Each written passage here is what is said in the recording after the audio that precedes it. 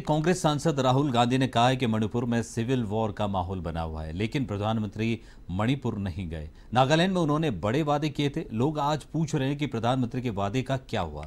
शायद हिंदुस्तान की सबसे भ्रष्ट सरकार असम में चलती है। मणिपुर में आप जानते हो, सिविल वॉर सी सा माहौल बना हुआ है, स्टेट बटा हुआ है।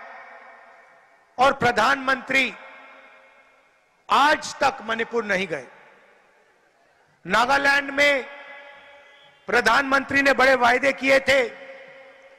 फ्रेमवर्क अग्रीमेंट नौ साल पहले उन्होंने साइन किया।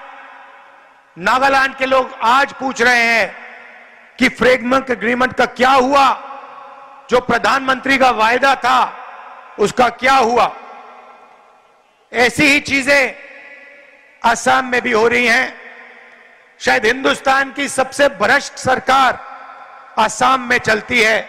आप लोग जानते हो, आप लोग जानते हो क्या हो रहा है असम में? और आपके जो मुद्दे हैं, इनको